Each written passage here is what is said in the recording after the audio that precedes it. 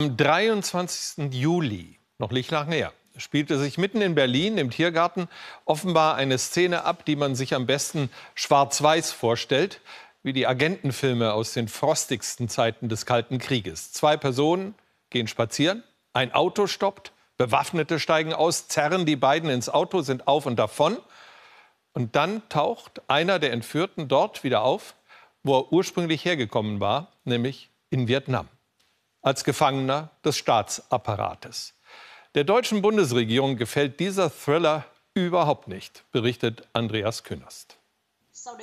Als Herr Tan wieder auftaucht, vorgestern im vietnamesischen Fernsehen, ist sein Tag im Park genau eine Woche her. Er muss sich sicher gefühlt haben zwischen den deutschen Bäumen und den deutschen Dichtern. Im Tiergarten lässt sich Herr Tan sogar fotografieren. Ein Vietnamese in Berlin, ein Mann im Park, ein Konzernchef auf der Flucht.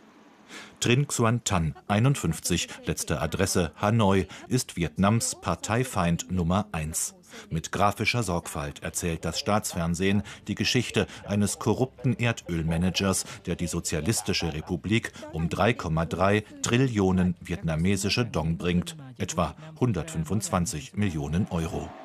Vor zehn Tagen wird Tan von seiner Bank gezerrt. Bewaffnete Männer, asiatisches Aussehen, es geht ganz schnell. Der Geschäftsmann verschwindet in einem Auto. Ende einer Flucht und Beginn einer monströsen diplomatischen Krise. Die Entführung des vietnamesischen Staatsangehörigen Trinh Huan Tan auf deutschem Boden ist ein präzedenzloser und eklatanter Verstoß gegen deutsches Recht und gegen das Völkerrecht. Dass es die Botschaft Vietnams höchst selbst ist, die die Entführer schickt und schützt, davon ist das Auswärtige Amt überzeugt. Botschafter Hung, hier vor drei Wochen, wird einbestellt und schweigt. Zur gleichen Zeit melden Vietnams Medien Sensation, der frühere Petro-Vietnam-Chef Tan stellt sich selbst der Polizei.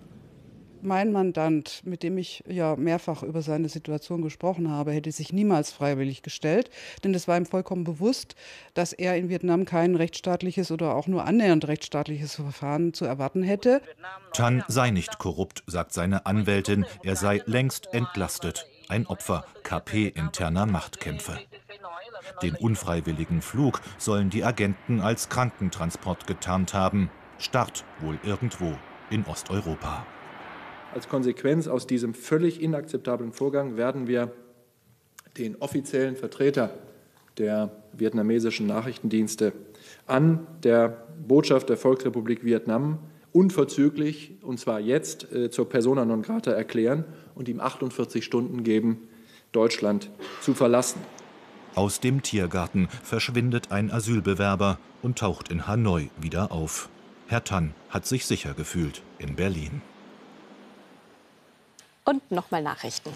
Die Lufthansa hat das gewinnreichste Quartal ihrer Unternehmensgeschichte hinter sich. Auch das komplette erste Halbjahr brachte einen Rekordwert mit einem operativen Gewinn von gut einer Milliarde Euro.